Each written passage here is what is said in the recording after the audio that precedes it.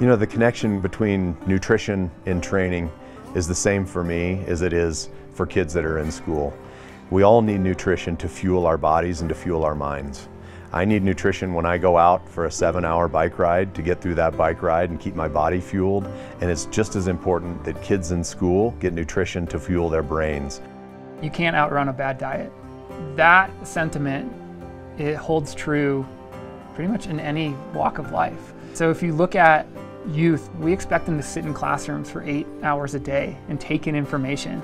We have to be thinking about how we're fueling their body and their brain to be able to effectively give them what we need. And if we're not doing that, if we're not giving them the nutrients that they need to have a successful eight hours in the classroom, then we are failing them. Food is the baseline for learning. If you have a student, which unfortunately in this country we have a lot of students that are hungry in their classrooms, they're going to be thinking about their, their hungry tummy. And they're not going to be able to concentrate and absorb all that quality information that they're getting unless they have that baseline of food. The passion and love that these food service teams have for the kids they serve, there's no words to describe. And you know, when you don't have funding for culinary training, when you don't have funding for equipment, for infrastructure, even for better ingredients.